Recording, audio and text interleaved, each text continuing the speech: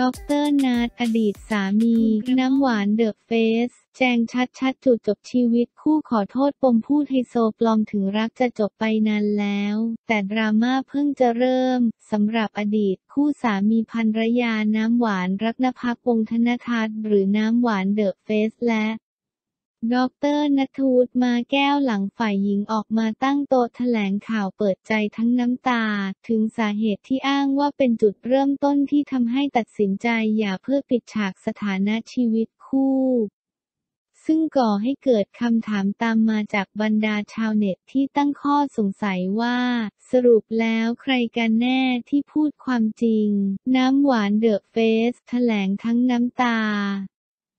เปิดความจริงดราม่าชีวิตรักสู่สถานะแฟน ไฮโซแชมป์ล่าสุดวันนี้ 18 ธันวาคม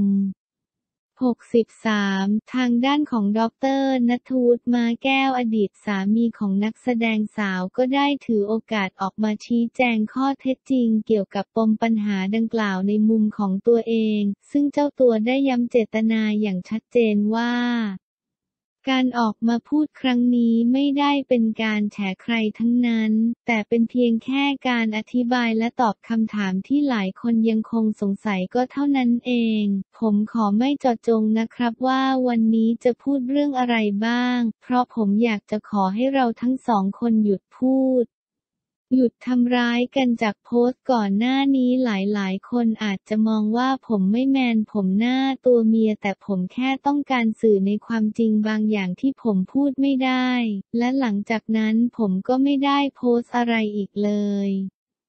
สาเหตุที่ผมตัดสินใจอย่าก็เป็นเพราะว่ามันสุดทางครับ เรารู้สึกว่ามันไปต่อกันไม่ได้ก็เลยอย่า ฝ่ายไหนมีมือที่สาม ผมไม่เคยมีครับ เรื่องนักศึกษาเรื่องอาบอบนวดเราไปจริงไหม ไปจริงครับไปคุยงานและเรื่องมีกิ๊กมันก็เป็นแค่การสงสัยการตีความ บวกกับการที่อดีตภรรยาผมทำงานในสื่อ ดังนั้นคำพูดของเขามันก็อาจจะส่งผลกระทบได้ แต่ผมไม่ได้มีมือที่สามแน่นอนและสำหรับน้องกิฟ ก็เป็นแค่น้องครับข้อความที่ผมส่งไปว่าน้องกิฟพี่จะเลิกกับน้ำหวานแล้วนะ หาแฟนให้พี่หน่อยอันนั้นผมก็ส่งไปจริงมันเป็นการคุยกันเล่นๆ ไม่ได้คาดหวังว่าอะไรจะเกิดขึ้นหลังจากนั้น ก่อนอย่าหนึ่งวัน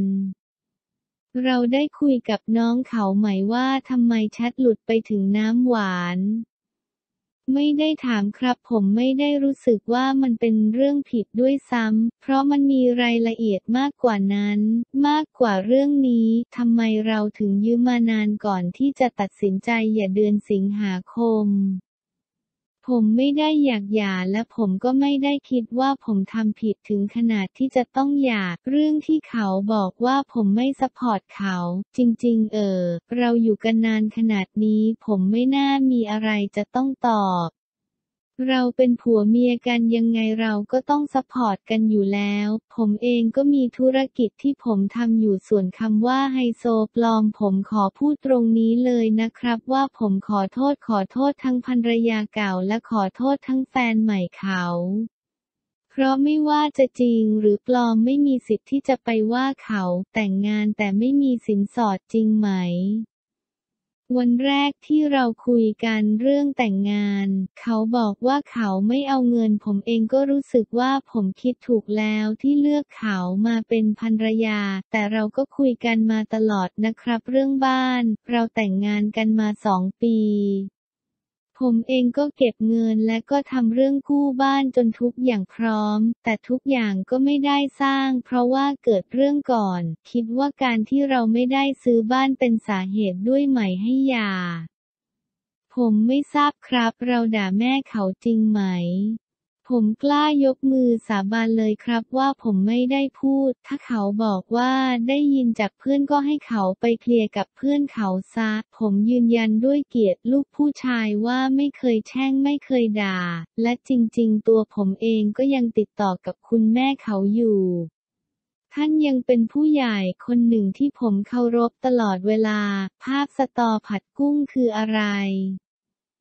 ผมโกรธมากในตอนแรก แต่พอตั้งสติได้ผมก็ไม่โกรธผมคิดได้ว่าทำอะไรไปโดยไม่คิดอีกแล้ว มันเป็นการโพสต์เหมือนระบายอารมณ์ ความรู้สึกของเราณวันนี้ที่มีกับน้ำหวาน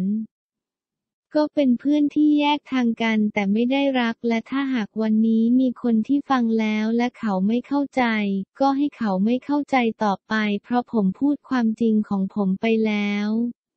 หรือถ้าหากหลังจากนี้ผมโพสอะไรไปก็ให้รู้ไว้ว่าผมไม่ได้สะเขาแล้วนะครับ ที่ผ่านมาเราให้คะแนนการทำหน้าที่สามีของตัวเองกี่คะแนน ผมไม่กล้าให้คะแนนตัวเอง แต่ผมคิดว่าผมดีกว่ามาตรฐานหรือจะให้คะแนนตัวเองน้อยๆ ก็ได้ครับ จะได้ไม่ต้องโทษใครโทษตัวเอง เรื่องนี้ส่งผลกระทบกับเรายังไงบ้าง เสียใจครับผมเสียใจ เราได้ยืมเงินจริงไหม มันเป็นดีลของการทำธุรกิจร่วมกัน และก็ไม่น่าจะมีประเด็นอะไรอีก ทุกอย่างชัดเจนครับ น้ำหวานคบซ้อนกับแฟนใหม่จริงไหม เป็นเรื่องที่ผ่านมาแล้วไม่พูดถึงดีกว่า และผมเองก็ไม่ได้ติดใจแล้วด้วย ทุกอย่างเป็นไปตามคำยืนยันของเขา ผมจะไม่พูดถึงอะไรอีก เราคิดว่าเราใสสะอาดแค่ไหน ผมใส่มากแต่เขาก็อาจจะใส่ในทางของเขา ส่วนผมก็ใส่ในทางของผม ยืนยันว่าสิ่งที่เราพูดคือความจริง ครับผมผมพูดความจริง และที่เราบอกว่าความจริงอยู่ในอินสตาแกรมคืออะไรเลิกกันแล้วแต่ผมก็ไม่เคยลบภาพในอินสตาแกรม มีอะไรอยากพูดถึงเขาเป็นครั้งสุดท้ายไหม ไม่ครั้งสุดท้ายหรอกครับ เพราะผมเชื่อว่าเมื่อเวลาผ่านไปเราอาจจะกลับมาเป็นเพื่อนกันก็ได้ แค่วันนี้อยากให้เขามีความสุขกับสิ่งที่เขาเลือก และก็ให้ทุกคนได้สนับสนุนเขาต่อไปในฐานะนักแสดง ใช้คำว่าเลิกทั้งที่ยังรักได้ไหม ตอนนี้ไม่ได้รักแบบเดิมแต่ยังมีความห่วงใยถ้าหากเกิดอะไรขึ้นมาผมก็พร้อม support เขาครับ เข็ดไหมกับชีวิตคู่ ไม่เข็ดหรอกครับ มนุษย์ต้องมีครอบครัวต้องมีความรักผม move on มาได้สองเดือนแล้ว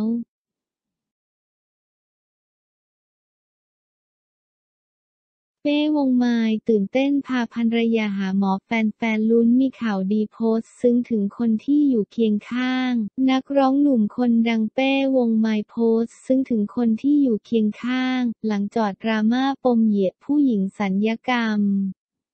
เผยตื่นเต้นพาภรรยาหาหมอแฟนๆลุ้นมีข่าวดีหลังเจอทัวร์ลงอย่างหนักสำหรับนักร้องหนุ่มเป้วงไม้หรือบดินเจริญราชจากเหตุการณ์พูดไม่คิดบนเวทีคอนเสิร์ต Big Mountain Music Festival 2020 ปีที่ 11 เชิงเหยียดสาวสัญญกรรมจนกลายเป็นดราม่าในโลกโซเชียล จนนักร้องหนุ่มต้องออกมาโพสต์ขอโทษในภายหลัง ตามที่เสนอข่าวไปแล้วนั้นกดติดตามลายข่าวสด Official Account ได้ที่นี่เพิ่มเพื่อนล่าสุดหนุ่มเป้